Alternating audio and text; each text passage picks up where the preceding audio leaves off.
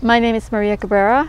I'm a volunteer docent at Old Mission Santa Barbara and I welcome you today to the historic La Huerta Gardens in the name of the Franciscans whose home we are visiting. We're looking at the overlook and you see lots of fruit trees. You see um, pomegranates, all types of citrus, uh, bananas, uh, loquats, zapotes, um, and all of those are what the Franciscans brought. Okay, so this is considered a mother orchard for the missions. Um, so we have, Old Mission Santa Barbara has the largest collection of citrus uh, of all the missions. We have the largest collections of grapevines. So if any of the missions need anything from us, we take cuttings, root them, and then we send them to them. Um, here we have a list of the garden plants that were brought here by the Franciscans as either seeds or seedlings. So all of this was not native to this area. And when the Franciscans brought it, they brought it because it was what they knew from their country, you know, Spain, the Mediterranean, and also from 200 years of establishing missions all over Central and South America. So being that uh, Alta California was the last frontier for the Spanish, the Franciscans brought everything from Europe and from Central and South America. Um, and because the weather and the climate, it's almost like Spain, everything grows here. Okay, so we're standing in front of about five plants of cotton.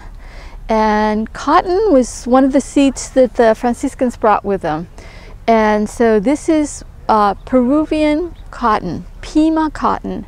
And so I did not know, but cotton comes in two colors, brown and white. And as you look at it, it looks like it's snow. Okay. Okay, so here we have the, the cotton, white, and here are the seeds. So all they would have needed to bring was a couple of seeds, plant them, and then you have cotton. And a brown cotton would have been, can be dyed to black. So it'd be easier to dye this to black than this to black. All right. So because of the heat that we've had, the cotton has really done well. Uh, behind the, uh, the cotton we have zapote. And um, this is the fruit. This is the fruit. Um, in some of the farmer markets in the area, you can buy it. Um,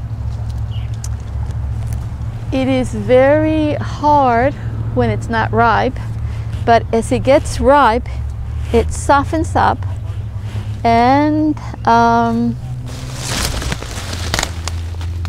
ah, this is one that was overripe, so the animals are started to eat.